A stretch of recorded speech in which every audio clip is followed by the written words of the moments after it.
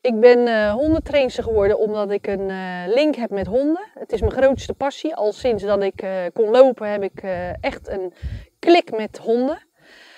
En ik vind het heel erg belangrijk dat mensen die een hond hebben, dat die ook hun hond snappen en begrijpen waarom die dingen wel of niet doet.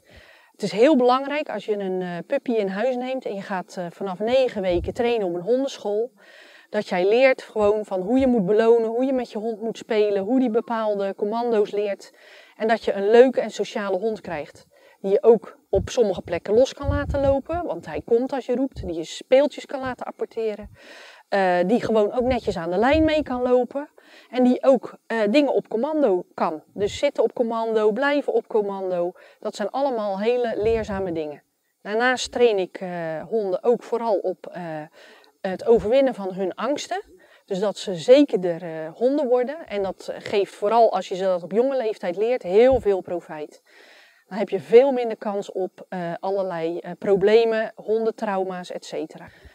En loopt je hond eventueel een trauma op door wat dan ook, een gevecht of een ongeluk of wat dan ook, dan is er een hele grote kans dat ik je kan helpen om je hond voor een groot deel ervan af te krijgen.